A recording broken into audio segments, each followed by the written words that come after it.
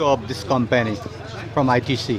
Uh, you are um, taking the bold step. It is a very much challenging step.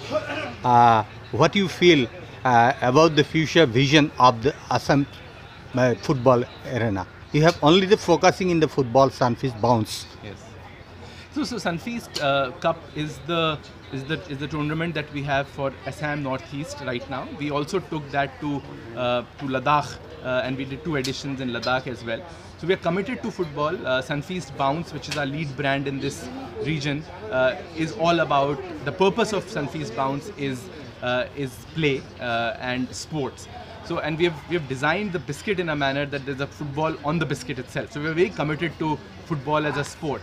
Uh, the whole idea of Sunfeast Cup is to really harness the talent and energy that is there at the grassroots level, uh, get the kids young into football, get them an opportunity to play competitive football, which doesn't happen generally uh, as far as India is concerned.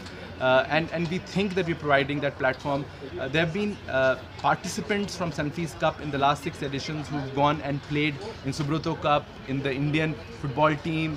They've been a part of the uh, ISL uh, tournament. So it's already showing that uh, if they get a platform, they can really go and shine. So Sunfeast Cup uh, will continue to su- support football as far as uh, Assam Northeast is concerned. How you the procure the all district here in Assam and Northeast?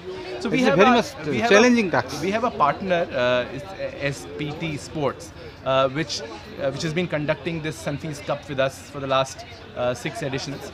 And they have very good understanding of the region. They understand the clubs, the schools, and how it works. Uh, and they have been helping us organize uh, the Sunfeast Cup in the past.